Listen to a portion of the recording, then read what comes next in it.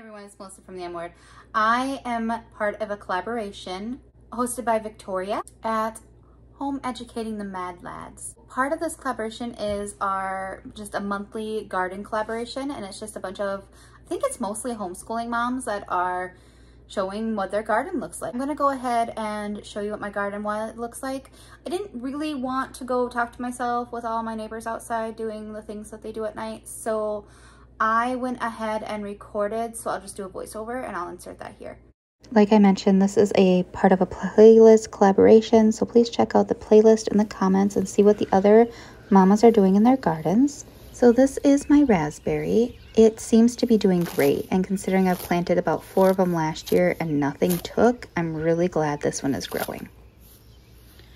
On this other side, though, is the other one. So either it's my blackberry or my raspberry, and I don't remember which one I planted where.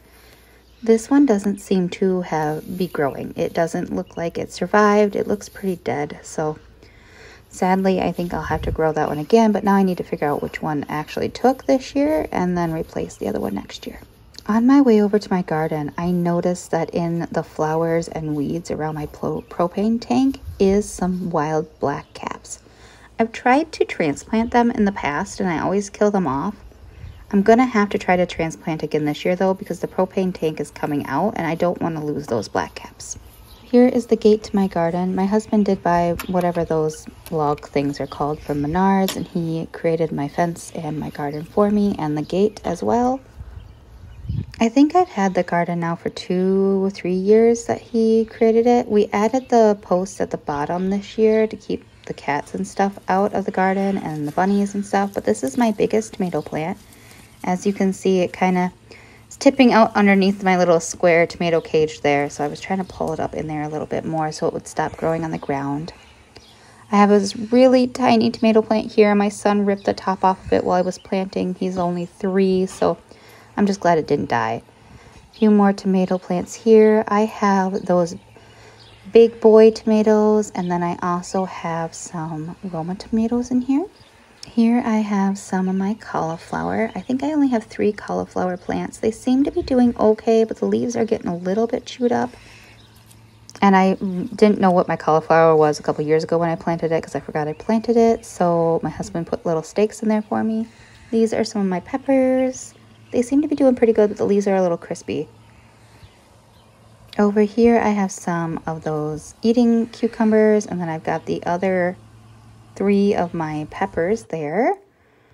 And then just in a second here I show you kind of just an overview of my garden in general. It desperately needs to be weeded. The walkway is pretty good, but that middle row is really bad. I have four broccoli plants through here, and all four of them seem to be doing really good. The leaves look great, and I'm really excited to actually have some heads of broccoli this year. Over here, I have some bush beans. I really need to weed this out, and the leaves look like they're getting a little rough, but otherwise they seem to be doing really good.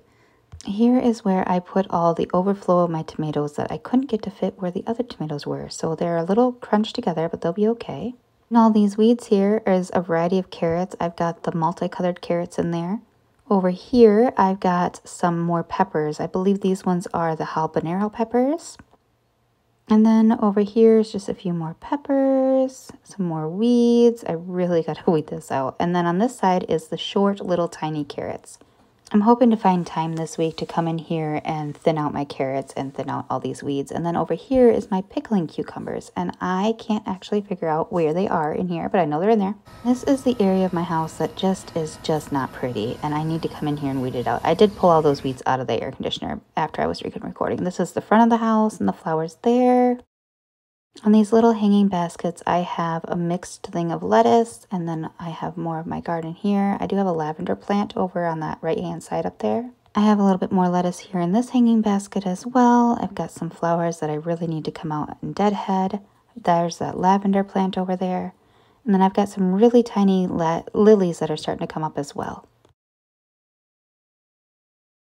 Okay, well that's everything. Thank you so much for watching. If you have any questions for me, please let me know. The collaboration will be again next month as well. So if you have any questions or want to see anything else in more detail, please leave it in the comments below. I'll be happy to show you or explain why I'm doing what I'm doing. I might not have an answer, but I will talk to you guys next time.